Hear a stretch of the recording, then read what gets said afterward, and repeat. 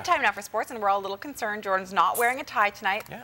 Looks good nonetheless. Uh, that was a good throw you did. Did it make it to the ice? Well, no. No. No, it did not. Uh, It was about row three. It ended up. It's a long way from the press box. Sure, Give me Jordan. some sure. slack, okay. Watson. Gosh. Thank you. Uh, the Victoria Royals needed a win tonight to salvage something of their three-game homestand. After dropping two games to the Tri-City Americans, the Lethbridge Hurricanes blew into town on a very festive evening. Expectant bear chuckers in attendance for the annual teddy bear toss in support of the TLC Fund for Kids. Uh, first period, a few teddy bears had to hide their eyes for the thunderous body check by Zane Jones on Tyler Kiswick.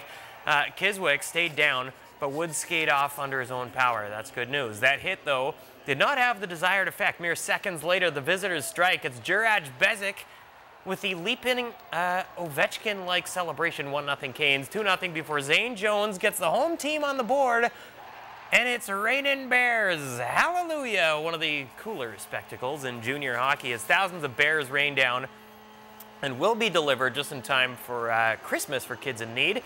Check out poor Pooh Bear caught up in the mesh. Uh, I got to heave my hooded marmot from high up in the press box. Shameful.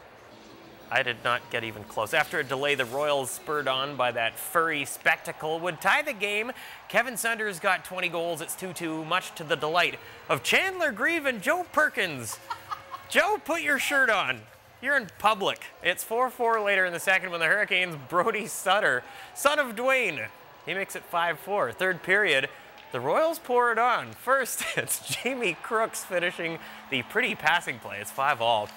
Then just 31 seconds later, Brandon McGee comes out front. Check out the heroic second effort, resulting in his eighth of the season. It's 6-5. How about more goals? Jamie Crooks, there's your hat trick. What a night for him, four points overall. And wouldn't you know, hey, there's the real Chandler Grieve and Joe Perkins, fully clothed alongside uh, Alouettes linebacker Shea Emry. Full house tonight, witnessed an 8-5 Royals victory and Pooh hanging from the mesh.